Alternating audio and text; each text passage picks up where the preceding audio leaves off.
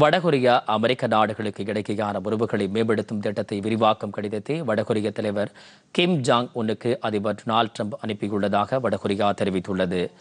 ஆயுத குறைப்பு தொடர்பான அமெரிக்காவுடனான பேச்சுவார்த்தைகள் இழுபறி நீடித்து வந்த நிலையில் இந்த கடிதத்தை அதிபர் ட்ரம்ப் அனுப்பியுள்ளது குறிப்பிடத்தக்கது.